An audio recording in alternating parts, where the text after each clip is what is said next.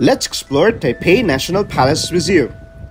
The Taipei National Palace Museum is a world-class museum that hosts an eclectic collection of treasure kept by generation of emperors from the Forbidden City of China.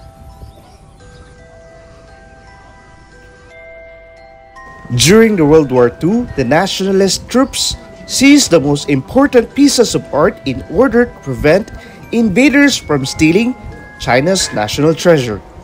A twist of fate eventually brought this treasure to Taiwan.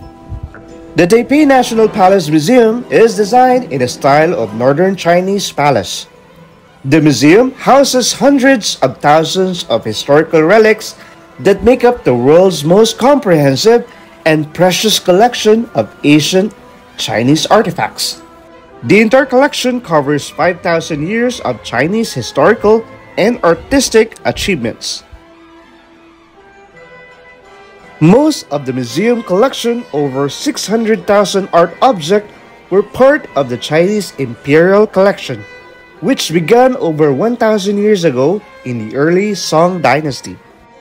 The Taipei National Palace Museum spread over four floors and two exhibition halls.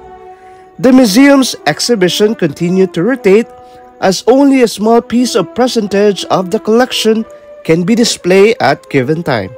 So tara, samahan nyo kami. Let's explore the world's largest and finest collection of Asian Chinese art, the Taipei National Palace Museum.